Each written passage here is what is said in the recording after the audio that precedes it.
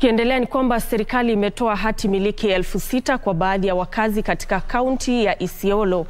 Waziri wa fedha Ukur Yatani amesema vyeti hivyo vilivyotolewa kwa wakazi wa wadi za Oldoinyo na Ngarimara zitasaidia kuimarisha maisha yao pamoja na kuepusha wizi wa mifugo.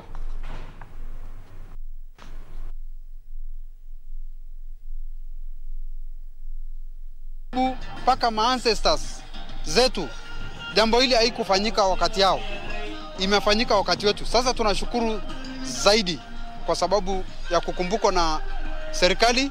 Tumenufaika kwa hii program ya 1 million titles. Najua ilikuwa kazi ngumu, haikuwa kazi rahisi. Tumekutana na yale tulikutana nayo. Tushirikiane, tuletee watu wetu maendeleo, tuletee tuletee watu wetu mafanikio mema. Hii ya nyumbani hii ni bure, haina, haina ni wakati tu. Isiyo mnafanya siasa kama kitu muhimu kama matter of life and death. Hii siasa si baada ya uchaguzi itapotea, na pengine wale wako sasa pengine hawatachaguliwa. Sasa unaanza kutafuta urafiki baada ya kuchaguliwa. Tutumie urafiki sasa kwa faida ya watu wetu.